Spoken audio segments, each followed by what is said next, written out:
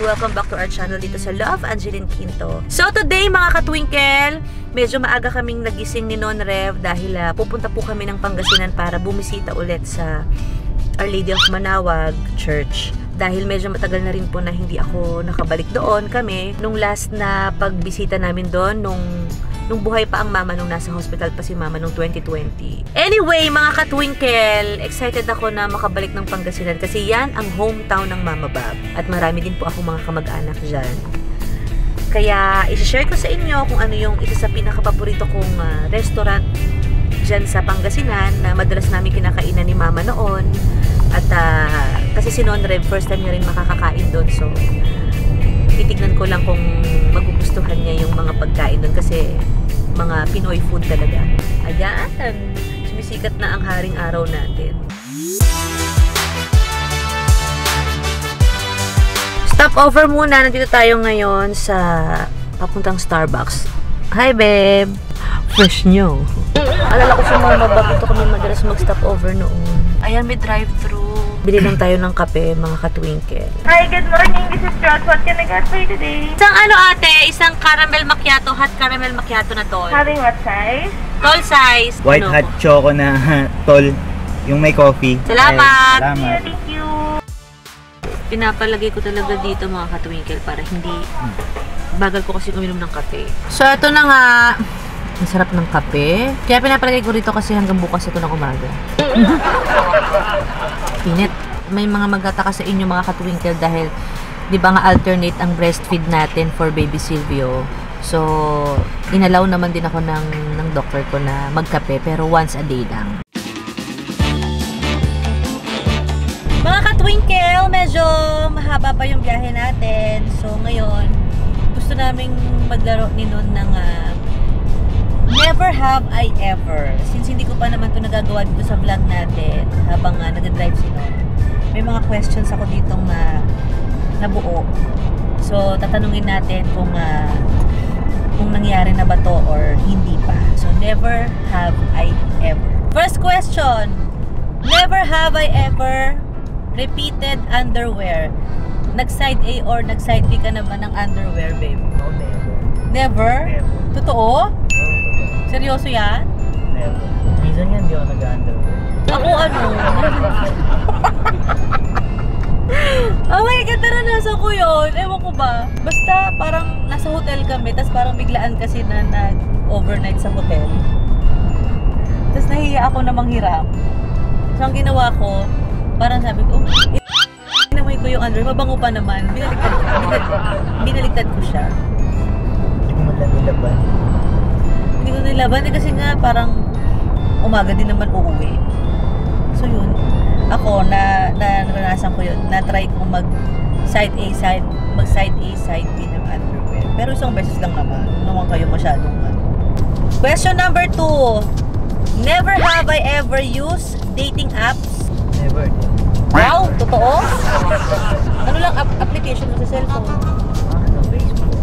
Mga. Tsaka mga ano, pang, mga pang filter, gano'n. Hindi. Ah, wala din. Ako? Naranasan ko yun. Pero hindi ko na sabihin kung anong app, um, dating app. Bahala na kayong humusga. Pero nag-stop na ako. Med- medyo matagal na rin to. Bago pa nag-pandemic, wala na. Huwag naman kayong ano. Number three, never have I ever drunk, call, or text my ex. Ako never. Parang never. Ha? Parang never pa naman. Din. So never, never. Wow. Safe, safe ang sagot mo ah. Parang ano tayo dyan ah. 50-50 ah. Never have I ever made a wrong send. Ako, madalas ako naro-wrong send eh. Pero yung baka yung tinatanong dyan, yung sinasadya. Kasi minsan, wala namang sinabi. Nangyayari sa akin yan, yung ano, yung kapag halimbawa na, for example, sa Messenger or sa Viber, di ba? Minsan may nire-replyan tayo, tapos biglang, habang nagta-type ka, biglang may nag-pop ulit na isang message. Minsan doon ko nasisend. Ganun yung nangyayari sa akin. Minsan lang naman. So ako, oo, na, narurong send ako madalas. Ikaw, babe? Minsan din. Minsan. Okay. Never have I ever made an excuse to his or her date dahil hindi niya gusto yung niya. Ay, ako never yun. Never yun. So, ito yung next question natin. Never have I ever sent sexy pics to someone sa ex, sa kachat, or sa current na jowa. Kay nun.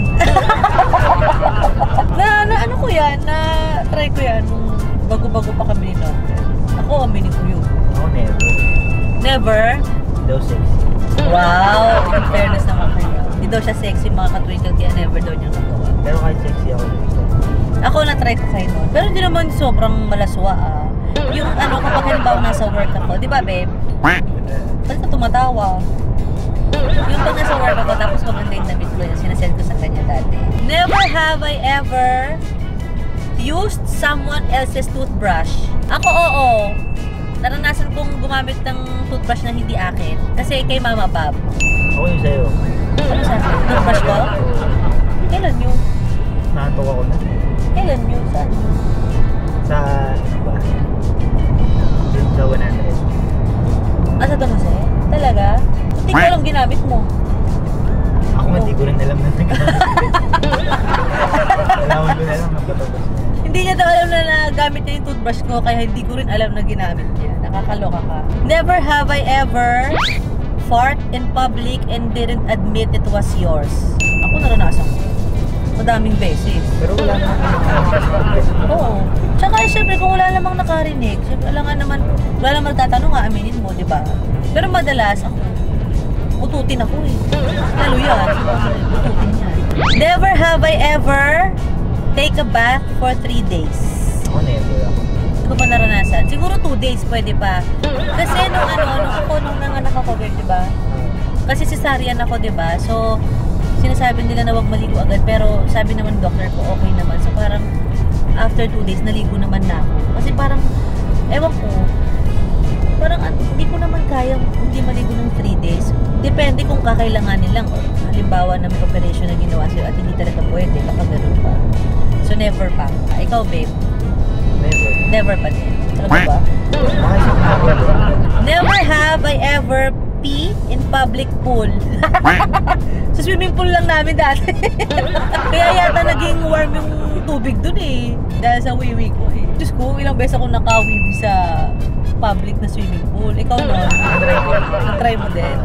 Pag nakatamad umangon. Oo, aahon ka pa. Eh, siya-siya, di ba? Siyempre, swimming, swimming. Ang layo malayo pa nung restroom. Doon na lang ako iigib. Wala naman makakaalam. Para makakaalam. Never have I ever went to a gay bar. Ako naranasan ko mag-gay bar. Lalo sa ibang bansa. Ikaw, Ben? Never? Yung totoo ha? Never ka na isama ng kaibigan? Ah, okay. Very good. Palakpakan naman. Never daw. Gusto ko yung sagot na yun. Never have I ever pretended to be sick just to meet his, her BFGF. Dati, dati. Paano, Beb? Anong ginawa mo? Wala, sabi ko lang line na. Kahit wala? Or masama na yung pakiramdam mo talaga? Ay, oo, masama talaga yung pakiramdam ko pala. Never pala ako, never. Masama pakiramdam mo Oo, nun? masama. Pa- Kahit kasi di ba fake daw, fake. Ako din naman, never kong nagawa yon. Kung halimbawa na ano, na gusto kong ma-meet yung jowa ko, parang ano, parang ibang ibang paraan na lang, pero hindi yung dahil may sakit ako. Magpapabebe na lang ako sa ibang paraan, pero hindi dahil mas mapakiramdam kundi gano'n. Pero minsan kasi talaga, 'di ba, kapag ka ano, kapag sweet naman talaga yung jowa mo, kahit sabihin mo lang na may migraine ka, ganun, masama yung pakiramdam ko. Kung sweet naman talaga yung jowa, pupuntahan ka naman talaga, hindi mo na kailangan mag-pretend, 'di ba, babe? Talaga concern sa'yo yung, yung boyfriend or girlfriend mo. Never have I ever slept during the mass. Naranasan ko siya pag yung simbang gabi. Kasi pag simbang gabi, di ba, lagi pinipilit natin na pinakamaaga yung oras ng misa. Simba kami sa Quiapo Church, simbang gabi. So, minsan nakakatulog ako. Pero pinipigilan ko talaga kasi syempre sayang sayang yung oras ng pakikinig ng mass. Ikaw, naranasan mo ano, ba? nung bata. ng bata ka, nakakatulog ka. Kasi pag kapag bata tayo, 'di ba, minsan di pa natin alam, minsan inisip natin "Ang tagal naman dito. 'Di ba dati ganun ganun kasi ako nung sinasama ako ni Mama Bob sa Quiapo. Siguro wala pa akong ano noon. Wala pa akong mga 8 years old. Never have I ever been blackout drunk. Sobrang nalasing? Oo.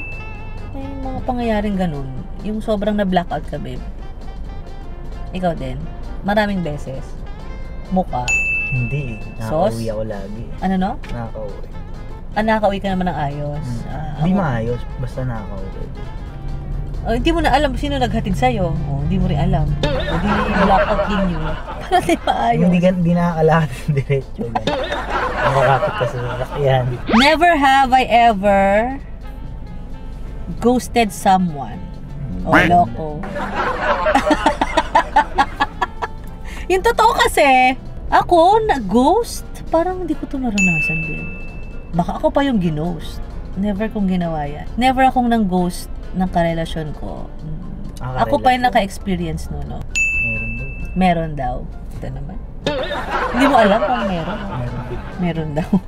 Never have I ever brought foods from wake, funeral, pagkain, drinks, or candles. Nang galing sa wake, mga pagkain na inuwi. Never. Kasi bata pa lang ako, mga katwinkle, lagi na sinasabi sa akin ni mama yung kapag may pinuntahan kang wake, bawal kang nag-uuwi nang galing doon. Pagkain or kahit na anong bagay, tu kahit tubig pa. Yan ang sinasabi ng mama ko. Never have I ever had crush on his or her teacher or professor. Ako oo, dati. Nagkaroon ako ng crush ko na teacher. Nung ano ko, elementary. Ilan din? Elementary. Ikaw, babe, karoon ka ng crush? Wala. Ng crush sa ano mo? Hindi. Wala. Wala, wala. Ako, nung elementary ako. Never have I ever, tama ba itong daan natin? Baka ma'am, never have I ever ako nung never have I ever date. Lagpas na pala tayo ha. never tayo nakarating sa pupuntahan natin. Never have I ever cheated sa exam. Nagawa ko. Kung nangopya ka, Sabi mo, BTTTC yun. Ano yun? ano yun? Mga multiple choice. Oo, naranasan ko yan, mangopya. Diyos ko, syempre takot akong ma-zero. Ayoko umuwi kay Mama Bob ng zero yung yung score ng ano ko, exam ko. Ang nakakatawa ng mga katwinkle, pati yung apelido pati yung apelido ng kaklase ko na nakopya ko. Elementary din yun, yung time na elementary ako.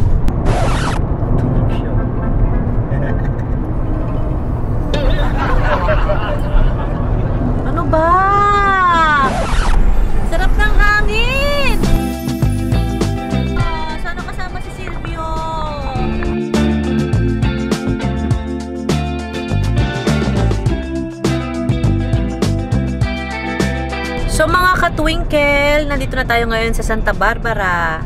Ito ang ah, hometown ng mama. Dito siya pinanganak. Actually, alam ko silang magkakapatid, sila mama Bob. Nakakatuwa lang na nandito na naman tayo sa lugar na to. So ngayon, um, susunduin lang natin yung dalawang pinsan ko, si Joshua at si Joseph. Kasi on the way naman sa Manawag yung bahay nila. Hi Josh! Oh, Joseph, ayan, dyan sila. Punta na kaming Manawag, mga katwinkle. Yan yung mga ano, nilalaro ko nung bata ako, oh. Ayan yun, oh. Binibenta nila. Hi mga katwinkle! So ngayon, eto na, nasa parking na kami. Then pupunta na kami ng Manawag Church. Nakakatuwa yung mga nanay, oh. Nag-ano sila, nagpupunta sila sa Manawag, naka-jeep sila na malaki, tas puno yung jeep nila kasi private jeep.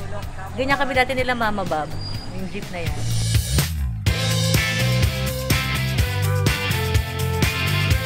Bango ng tubig, oh.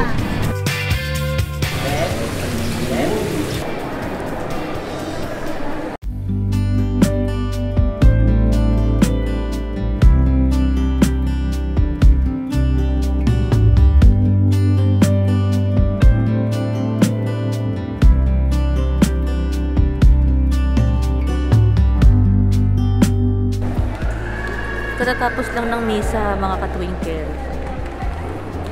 Naiyak ako, naalala ko si Mama Bob. Ang ganda-ganda ng Our Lady of Manawag. Eh. Ganda ng altar, ano? Namiss ko bigla si Mama.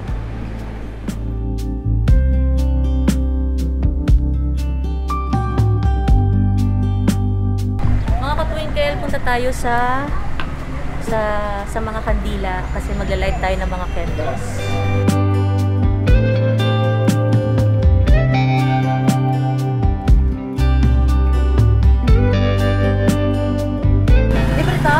Free taste? Ay, si ate. Ang bait naman ni ate. Avocado meron din. Hmm, may avocado. Sarap. Wala PlayStation, te? Oo, ako hindi ko ginagawa. Inaangkat ko lang ganito kayo talaga. Mhm. Sarap. Magatas. Man. Lumalasang avocado. Hindi daw lasa avocado, lasa daw mangga. Yunay, tupig, ice candy, perfect. So mga ka-twinkle, nandito tayo ngayon sa Ciudad Elmina. Ito yung isa sa mga paborito namin ni Mama Bob na restaurant dito sa Dagupan, sa Pangasinan. Masasarap pa mga pagkain dito. Gutom na gutom na kami. gutom na gutom na ako. Halika na. Diyan kami nag namimingwit ni Mama Bob nung mga isda. Tapos inuwi namin. Gutom ka na, babe? Gutom ka na? Ayun, ang sarap naman. Ito mga katwinkle. Isa sa mga sikat na pagkain sa Pangasinan. Ba beef yan. Beef na pigar-pigar ang tawag. Sarap oh.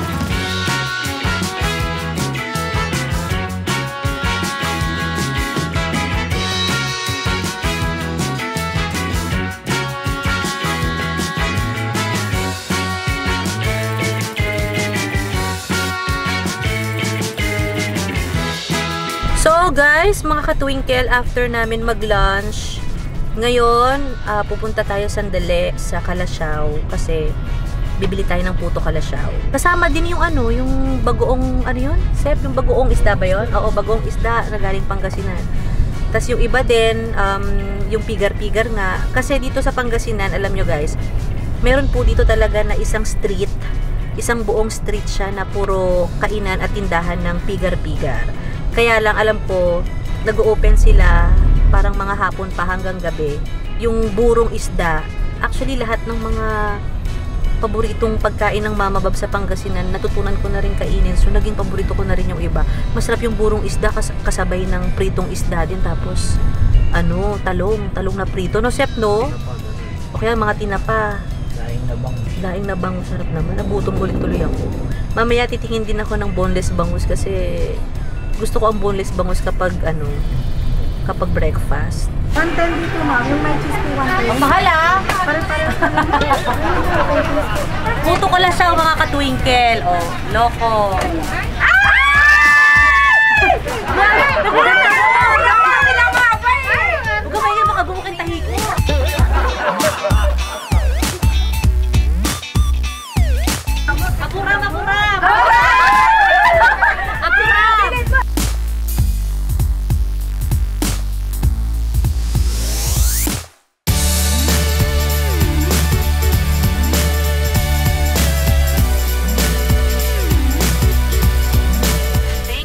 Barbara. Ang dami man namin gusto pang puntahan sana sa Pangasinan pero dahil kulang na sa oras, ayaw namin umuwi ng sobrang late kasi nga si Silvio iniisip namin. Yun lang naman mga katwinkle. Salamat sa pagsama sa amin ni Non Rev. Until next time, sa iba't ibang lugar pa na pwede natin puntahan at ah, sa mga restaurant pa na pwede pa natin kainan samahan niyo kami lagi dito sa Love Angeline Quinto YouTube channel natin. Babe, thank you for driving! Thank you, babe! Salamat mga katwinkle! Mag-iingat kayo, guys! We love you at sana po ay patuloy kayong mag-subscribe dito sa Love Angeline Quinto YouTube channel. Sa lahat ng mga nagko-comment, nagla-like at nag-share dito sa lahat ng mga videos natin. Maraming maraming salamat. We love you everybody! Until next week! God bless you! Bye-bye!